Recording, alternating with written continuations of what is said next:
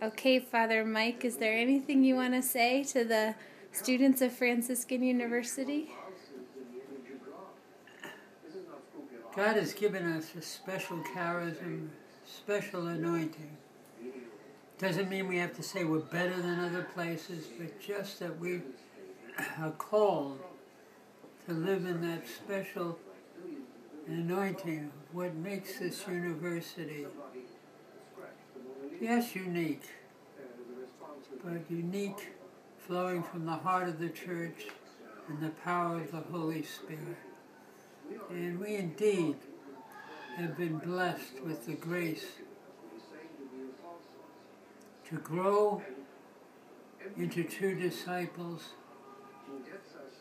at the same time that we're maturing and learning what we need to use in the place of service that God has for us. So we keep praying so that we stay in that stream.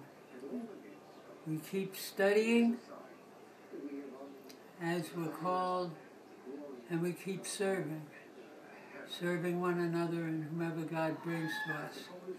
And then God, in His time, will bring us all to maturity where we can be effective in caring for others, finding our place, and knowing ourselves as true disciples of the Lord Jesus. In the spirit of Francis of Assisi, and given to the love of the people that God has for us. This is our call this is our joy, and this is our challenge. Amen. Father Michael, if you wanted to say one last thing to the students of Franciscan, um, what from the heart of, of the Father, what do you think the Father wants to tell them? Students,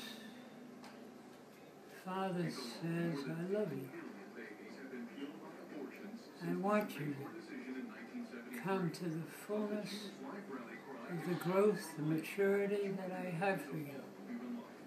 I want you to be my sons and daughters. I want you to blossom in a way that will bless others around you and will bring a fullness into your heart of being loved and loving while serving humbly wherever you're called.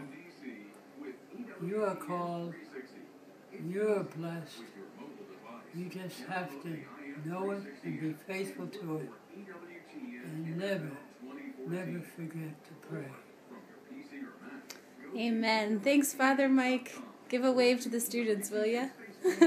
we love you. God bless you.